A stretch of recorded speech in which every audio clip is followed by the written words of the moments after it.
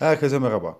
Kanalıma hoş geldiniz. Doktor Fahrettin Koca ve Bilim Kurulu tarafından yapılan açıklamalarda ülkemizde virüsün yayılmanın en başlıca kaynağının ulaşım olduğu açıklanırken buna nazaran bunu engellemek için de seyahat yasağının getirilmesinin planlandığı ifade edilmekte. Özellikle özel arabayla artık biz İstanbul'dan İzmir'e, İzmir'den Manisa'ya, Van'dan Hakkari'ye, Hakkari'den Şırnak'a veyahut da Mersin'den Antalya'ya bu şekilde özel arabamızdan gitmemizin yasaklanacağı, seyahat yasağının getirileceği ifade edilmiş durumda. İl, ilçe hıfzı zıffa kurulları, il sağlık müdürlükleri tarafından yapılan toplantılarda en büyük kaynak seyahat olduğu ortaya çıktı seyahat yasağının ülkemize getirilmesiyle beraber koronavirüsle mücadele kapsamında virüsün daha da azalacağı ifade edilirken bundan dolayı ilk etapta özel arabayla seyahat yasağının getirilmesi, insanlar artık kent araçlarıyla bir ilden bir ile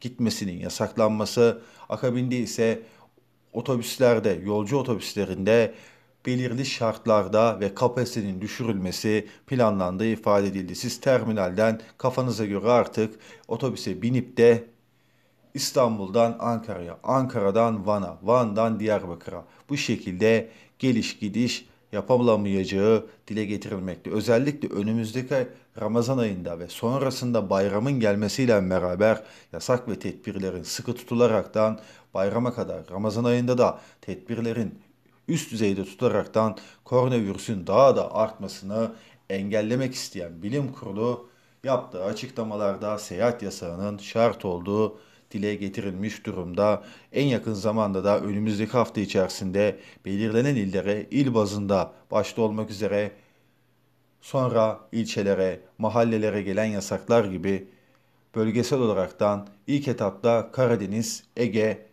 ve Marmara bölgesine getirilerekten seyahat yasağının sonra ise artışların engellenememesi durumunda diğer illere de getirilebileceği planlanmakta yapılan açıklamalara göre. İnşallah bu yasak gelirse vatanımıza ve milletimize, ülkemize hayırlı olur diye ummaktayız. Çünkü virüs sadece ulaşımda değil her yerde ulaşımda da virüs artmakta.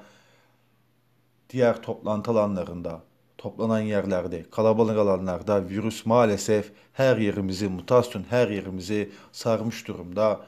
Sizce bu şekilde gelen seyahat yasaklarıyla artan virüsü engelleyebilir miyiz? Yoksa genel olaraktan ülke geneli tam kapanmaya ihtiyacımız var mı? İspanya'nın uyguladığı gibi bir tam kapanmaya ihtiyacımız var mı?